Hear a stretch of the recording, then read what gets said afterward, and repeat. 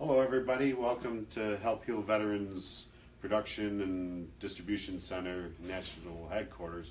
We're going to go out on a tour and visit what we're doing today. We're working on the Cahill wristband again, and we're attaching the buckles to the straps, and we'll show you how that's done. Come on out.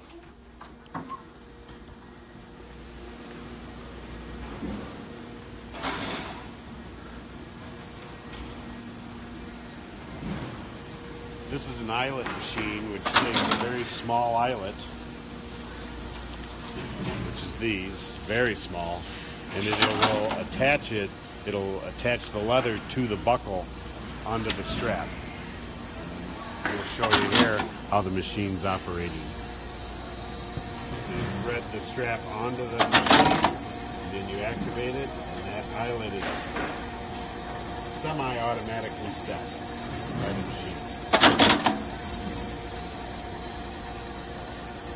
So, and these are the finished, what they look like when they're done, right? This is the strap after it's completed. So it's been cut, and this is the buckle has been threaded, and then this is attached after it's done. And where on the on the wristband does this piece go once it's complete? This is the piece that goes around. There's two per kit, so the, this is the band as it goes around, and the buckle is attached to the wristband. All right, very cool. And Chip, would you remind our viewers what this wristband stands for and why we're producing it? This is uh, Michael Cahill was the civilian who was uh, killed during the Fort Hood uh, terrorist attack.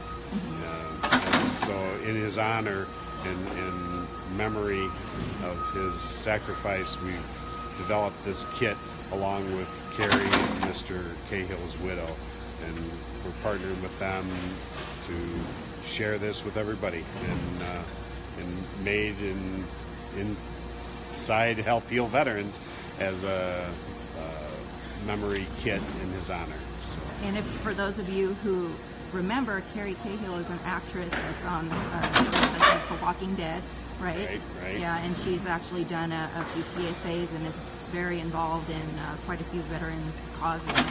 Correct. So it's been an honor you know, to work And with her, right? and now that this is the final step in the compiling all the components of this kit, we're very close, if just days away from getting into regular production on this kit. And so it'll be available uh, nationwide uh, very shortly, within just a few days.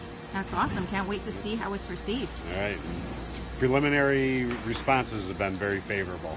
Great. And many people are, those that have already assembled it are wearing it all the time.